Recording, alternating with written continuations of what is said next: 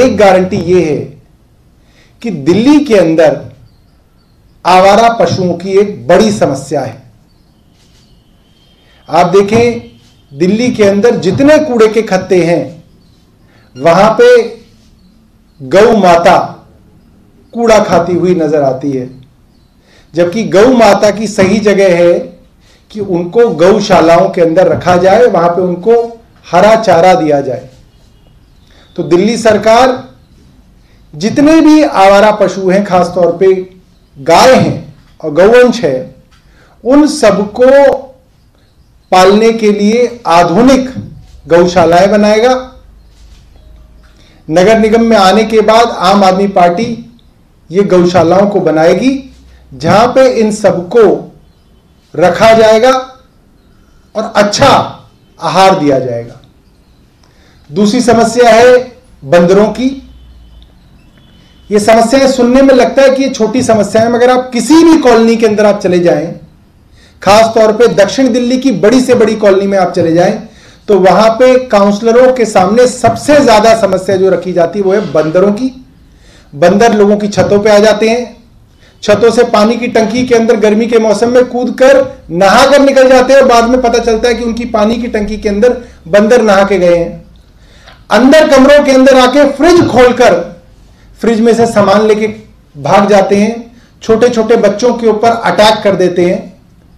तो आम आदमी पार्टी का वादा है कि हम सत्ता में आने के बाद इनको, इनके नेचुरल हैबिटेट में, जैसे असोला में है, और भी कई नेचुरल हैबिटेट है, वहाँ पे इनको दोबारा से रखा जाएगा और वहाँ पे इनके खाने का, आहार का इंतज़ाम किया जाएगा ताकि इनको जो है अपने नेचुरल हैबिटेट से बाहर ना जाना पड़े।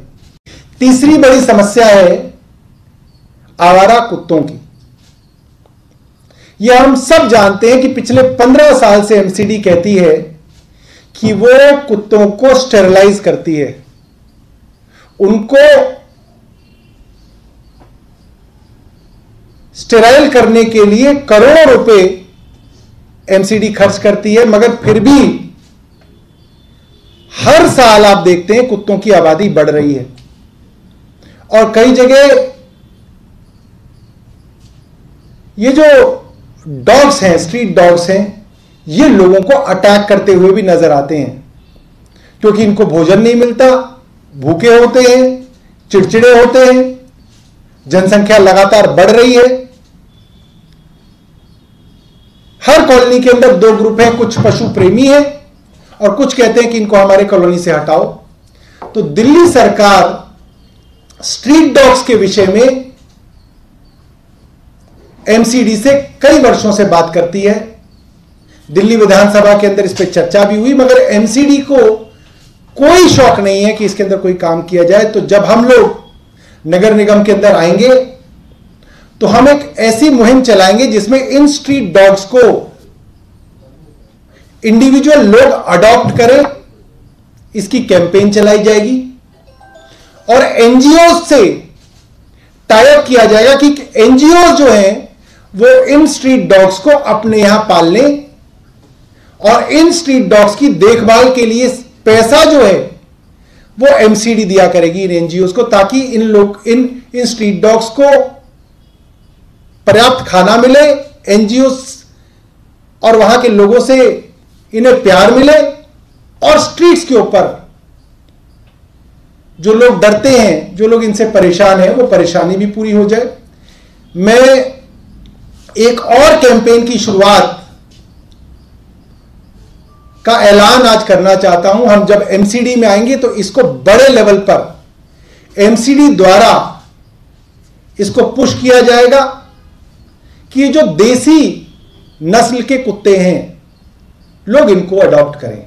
लिए एक हमारे मित्र हैं, इनके पास देसी कुत्ते हैं, और इनके यहाँ ये देसी जो डॉग्स हैं, ये छोटे छोटे देसी जो नस्ल है, इसके बच्चे हुए हैं, और हम एमसीडी की तरफ़ से सरकार में आने के बाद ये मुहिम चलाएँगे बी इंडियन अडॉप्ट इंडियन आप भारतीय हैं तो भारतीय नस्ल के कुत्तों को अपने घर में जगह दीजिए। इन बिचारे देसी नस्ल के कुत्तों को भी हमें जो है घर देना चाहिए। हम विदेशी नस्लों को तो बहुत पालते हैं और हमें उनसे कोई दिक्कत नहीं है। विदेशी नस्लों को भी पालिए, मगर देसी नस्लों की भी आप थोड़ी सी चिंता कीजिए। जब हम देसी हैं, भगवान ने हमें देसी बनाया है तो हमारे देसी नस्ल के कुत्तों से जो है इतनी जो है दूरी ठीक नहीं है एक और दिखाना। और सबसे अच्छी बात ये जो विदेशी नस्ल है तो एक दो रंगों में ही आती है। हमारी ये जो देसी नस्ल है आप देखो एक ही आ, जो फीमेल डॉग होती है वो कई रंग के पपीज देती है। लाल भूरे काले और हमारे यहाँ तो नाम रखने में भी ज़्यादा कष्ट नहीं होता। जो काला हुआ उसको कालू जो भूरा हुआ उसको भूरा। जो लाल हुआ उसको लालू। तो ये जो है, आज हम सिर्फ़ अपनी तरफ़ से चला रहे, मगर इस मुहिम को जो है हम लोग एमसीडी की तरफ़ से चलाएँगे कि एनजीओ इनको अडॉप्ट करें और इंडिविजुअल्स इनको अडॉप्ट करें और एनजीओ को पैसा देगी। एमसीडी की इन बेचारे देसी नस्ल के कुत्तों को अपना घर मिल सके। बहुत बहुत धन्यवाद।